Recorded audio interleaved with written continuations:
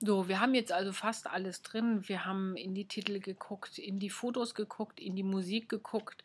Durch Ein- und Ausschalten aktiviert und deaktiviert man das.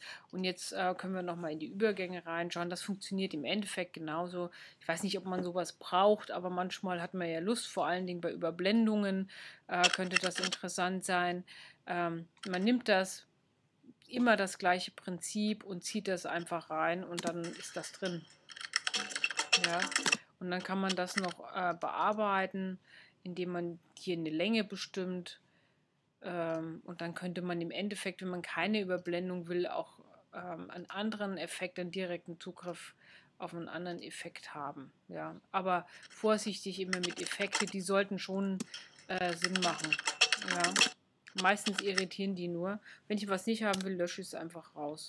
Fertig.